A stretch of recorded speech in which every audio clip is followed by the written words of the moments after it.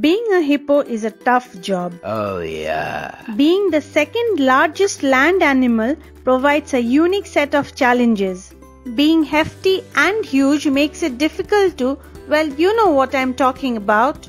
And because its legs won't be strong enough to support its weight for prolonged period of time, it has to lie down and take a nap pretty often under the sun.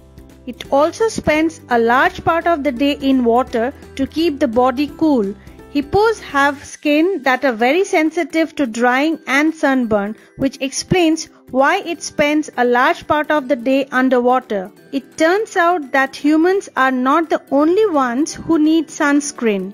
Hippos sweat out their own version of sunscreen. Yes, you heard it right.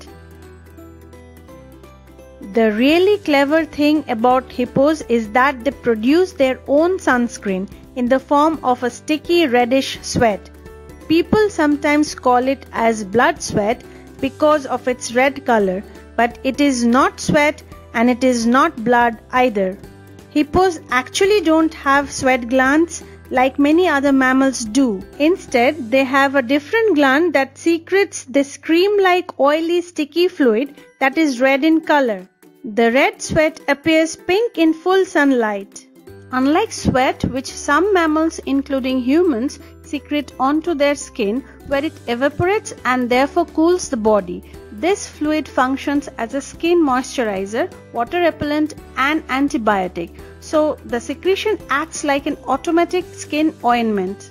This thick oily fluid is secreted from special mucous glands in hippo skin it is initially colorless but quickly turns red orange, eventually becoming darkish brown. Studies have revealed and suggested that this unique secretion contains two important pigments, one red called hipposudoric acid and the other orange called norhipposudoric acid. Both of these pigments protect the hippo from sunburn by absorbing ultraviolet radiation and the red pigment also has antibacterial properties and acts as a good antibiotic. Hippos always fight and they have wounds all over them. They get scratches and bites and cuts and yet they don't get infections.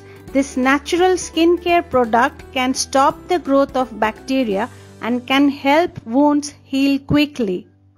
And the fun part is many scientists are trying to mimic the hippo's natural skincare product to invent sunscreens for humans. Now, here is a fun fact. Did you know that hippos spend most of their day resting in water and can hold their breath for up to 30 minutes?